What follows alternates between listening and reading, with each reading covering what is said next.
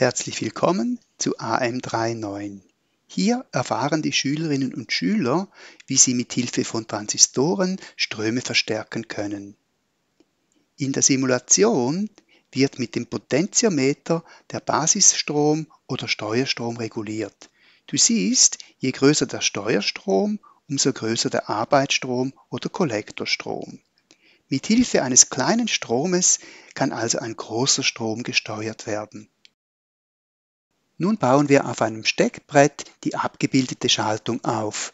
Die beiden losen Enden von zwei Kabeln werden wir später über unterschiedliche Widerstände miteinander verbinden.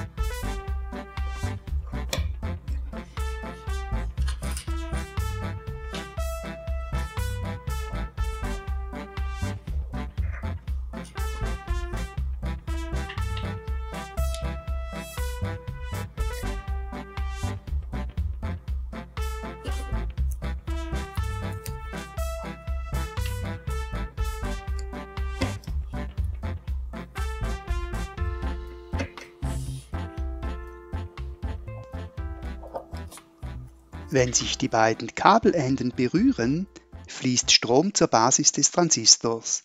Dieser schaltet durch, die LED leuchtet. Wenn wir die beiden Kabelenden mit den Fingern berühren, fließt der Strom durch unseren Körper. Wegen des Körperwiderstandes ist der Steuerstrom jetzt viel kleiner als vorher und damit auch die Arbeitsstromstärke. Die LED leuchtet nur noch schwach.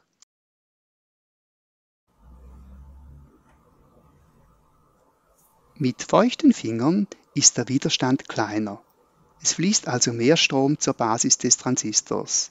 Dieser verstärkt ihn und die LED leuchtet heller.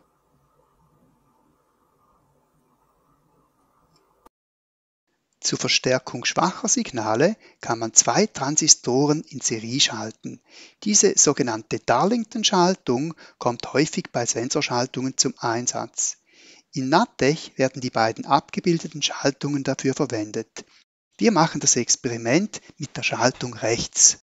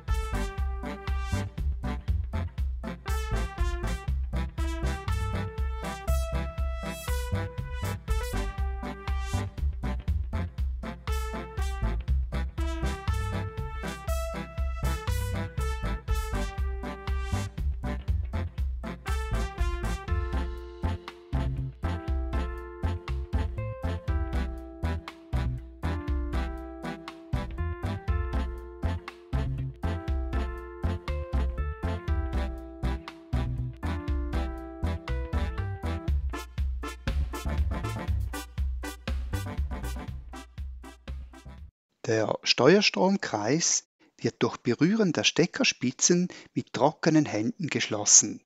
Obwohl nur sehr wenig Strom fließt, wird dieser durch die Darlington-Schaltung so weit verstärkt, dass die LED im Arbeitsstromkreis hell leuchtet. Wir haben einen Berührungssensor.